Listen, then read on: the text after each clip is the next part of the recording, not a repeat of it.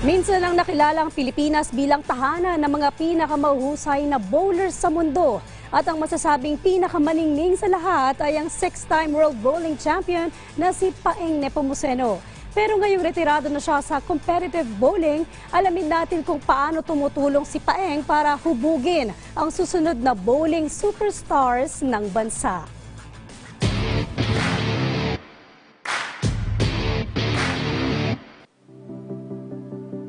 Edad na 65, aminado ang six-time World Bowling Champion at four-time Guinness Record holder na si Rafael Paeng Nepomuceno. Naritarado na siya sa competitive play at katuwaan na lamang ang pagbobowling.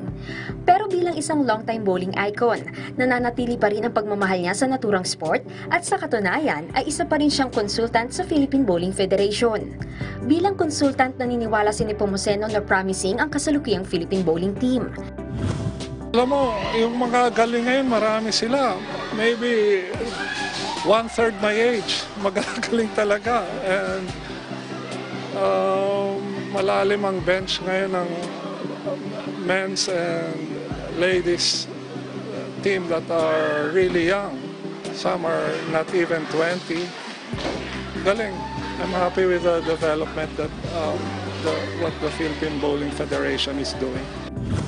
Ilan sa mga prominenteng pangalan ngayon sa national team ay sina 31st Southeast Asian Games gold medalist Merwin Tan, 2022 International Bowling World Championships bronze medalist Mark Custodio, 2015 SEA Games bronze medalist Lara Posadas Wong, at 2021 Super World Championship bronze medalist Norel Nuevo. Pero sa kabila ng kani-kanilang mga naabot, kumbinsido si Paeng na mas malayo pa ang mararating ng mga nabanggit na manlalaro. With uh, proper training and proper support, we can create world-class bowlers and um, proper support. Um, bowling will regain back its glory days. We're on the right path, slowly but surely lang. Bilang isa sa mga pinakamahuhusay na bowler sa mundo, alam ni Nepomuceno kung ano-ano ang mga dapat gawin para magtagumpay sa kanyang sport. Pero sa lahat ng kanyang nakamit, ano nga ba ang masasabing pinaka-memorable sa kanya? Most memorable. Well, in 1999, the International Committee, Olympic Committee, gave me its highest award, the IOC President's Trophy. And um, it's ironic kasi hindi naman Olympic sport ang bowling pero pinili nila isang atleta to receive their highest award. And um, that is one of my most memorable moments in bowling. Of course, being inducted in the World Bowling of Hall of Fame and being in the entrance and uh, being named Philippine Athlete of the Century by the Philippine Sports Writers Association. Special yun. And sometime last year, um, Philippine Post um,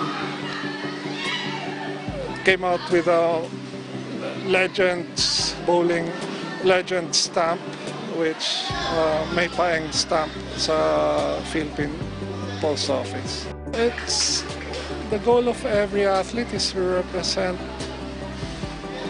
the, Philippines in international competition. Uh, what I miss most is that adrenaline na lumalaban ka para sa flag and country. Yun ang nami-miss ko. Iba ang feeling talaga pagka ang uniform na suot mo ay Pilipinas or Philippines.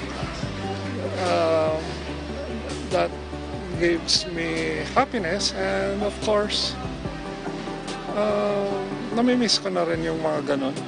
One thing nice about bowling, it's a sport na rain or shine, pwede mo lang laruin. And then it's one sport na height is not a factor. And um, everybody can play it, young or old. So yan ang, that is why bowling is fun and I encourage everyone to take up the sport. Ngayong tapos na ang kanyang playing career, may mga bagay pa bang gustong abutin o di kaya'y nais maabot noon ang itinuturing na isa sa greatest international bowlers of all time? Wala na, you know, I'm very blessed and grateful to our Lord. He has given me so much blessings. Now it's my way of giving back. Yung, I also teach for the PE teacher ako pag Mondays and sa UP and that's my way of giving back to the sport and then I'm an advisor to the RP team. So that keeps me um, involved and staying in touch with our sport. Kaya naman sa mga nagnanais na balang araw ay maging matagumpay rin sa mundo ng bowling.